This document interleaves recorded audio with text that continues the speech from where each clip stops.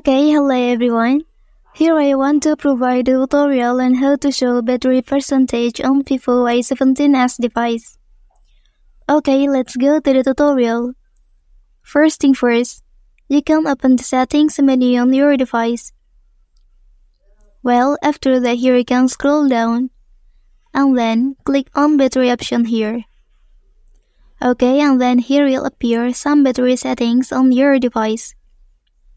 Okay, and then to show the battery percentage, you can scroll down and activate this option. Okay, and then the battery percentage on your device has been successfully displayed. Well, that's the tutorial on how to show battery percentage on Vivo Y17s device.